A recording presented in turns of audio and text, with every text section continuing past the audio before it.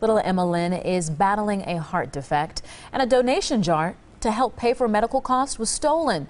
But now, just a week old, things are already getting better for the baby. Lacey Crisp has an update from Children's Hospital. Emma Lynn is recovering from a successful surgery to help fix her heart.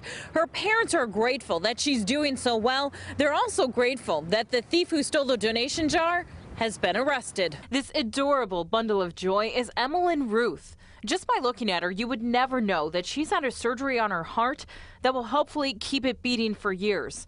But it's a medical condition that's taken a toll on her parents. We saw how helpless and, you know, how she wasn't doing anything and just everything that was hooked up to her. The place where Emmeline's dad works tried to help out the family by putting out a donation jar, but a heartless thief walked in and swiped it. After our initial story aired, tips started pouring into West Bend police, and it helped them arrest this man, Miguel Marquez. He has no morals. It shows that. That just completely shows me that he had no morals. He doesn't care about anybody but himself. Others saw the story and decided to help the family as well. The local band 5 O'Clock Charlie will host a fundraiser for the family on November 1st. The Studzinskis explain it's amazing to feel the love and support from the community. We're not going to forget all the people that's done stuff for us. Eventually, we'll pay it forward.